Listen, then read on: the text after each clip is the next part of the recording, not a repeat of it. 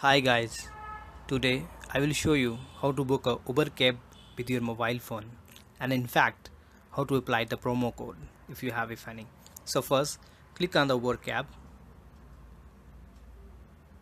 and then it will automatically take your location and if you feel that this is not your exact location then you can drag the map to adjust bit further once you feel that this is your location.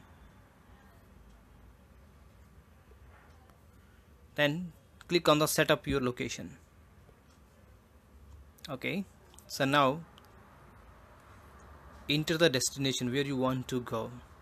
So for example in my case I'm entering the Mehrauli so it is retrieving the prices. So it will shows that at this moment 76 rupees around it will charged so you can click on the request uber go and then you can find your cab. So now comes how to enter the promo code if you have any.